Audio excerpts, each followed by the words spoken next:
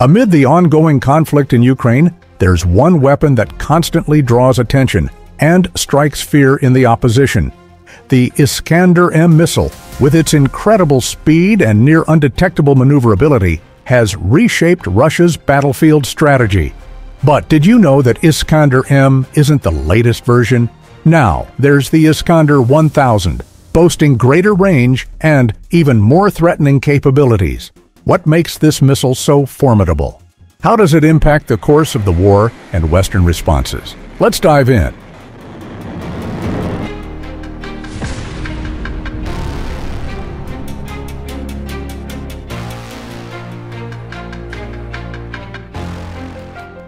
In the ongoing war in Ukraine, the Iskander-M ballistic missile stands out as one of Russia's most impactful weapons. It's not just a destructive tool, it's a high-tech system giving Russia a significant strategic edge.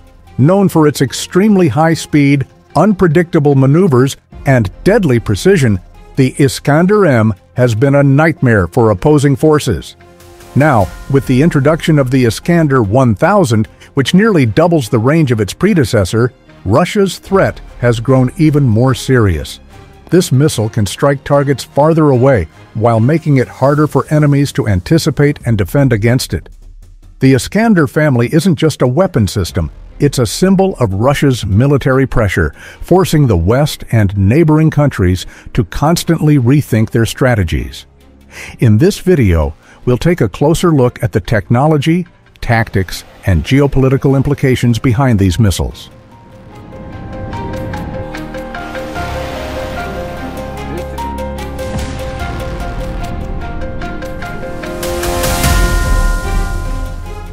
Iskander-M features an advanced dual guidance system.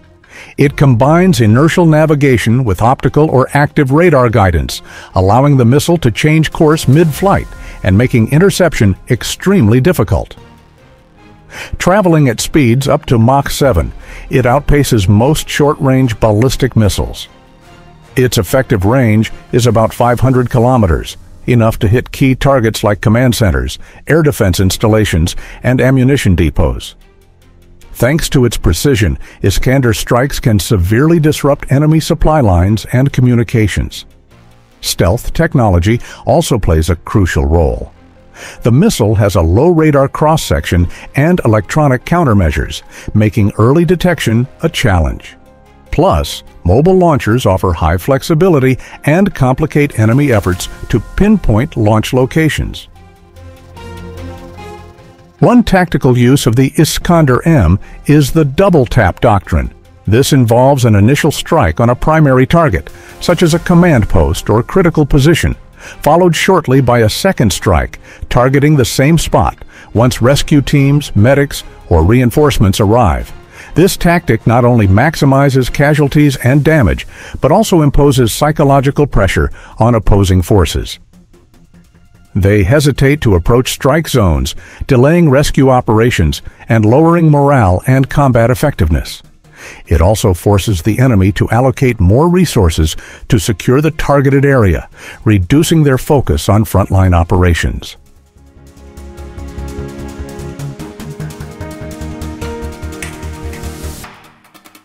The Iskander 1000 is the latest evolution in the Iskander missile family, bringing a major leap in combat capabilities. Its range extends close to 1,000 kilometers, almost double the previous model, placing it in the medium-range ballistic missile category. Flying at altitudes between 120 to 130 kilometers, it's significantly harder for conventional air defense radars to detect. The missile's speed is also reportedly higher, shortening reaction times and shrinking interception windows.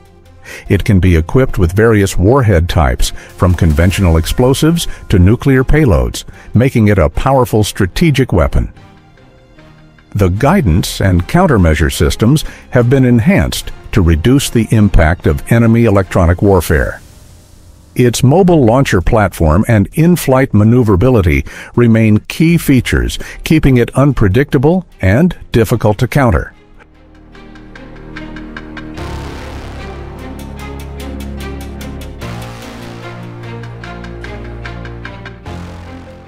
With the Iskander 1000 now on the battlefield, the threat landscape shifts dramatically.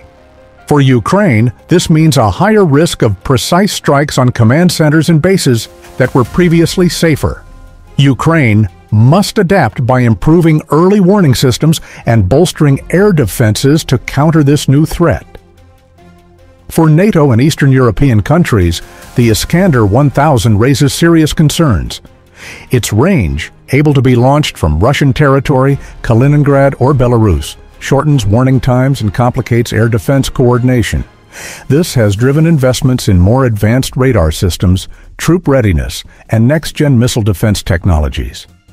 Ultimately, the Iskander 1000 isn't just a weapon, it's a game changer in regional and global defense strategy. Both the Iskander M and Iskander 1000 present serious challenges to modern air defense systems.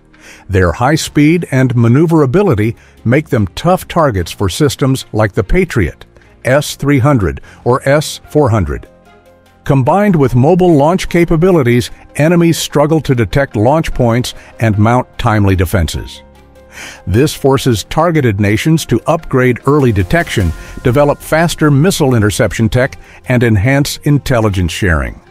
The Iskander is as much a psychological weapon as it is a physical threat, disrupting enemy operations and forcing resource diversion.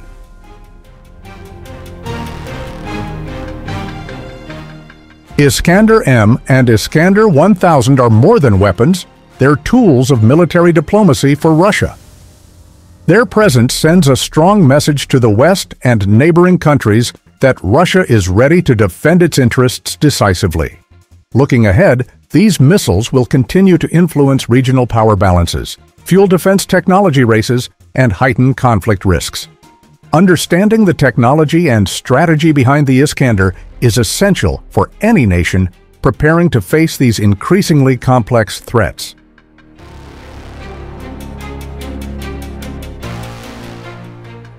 This content is created solely for educational and informational purposes.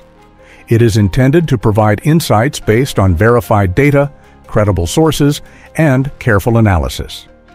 Our goal is to foster a deeper understanding of modern military technology and current events, not to promote or endorse any form of conflict, propaganda, or political agenda. We strictly oppose the spread of misinformation and hoaxes. Every piece of information presented has been carefully sourced from reliable, publicly available references.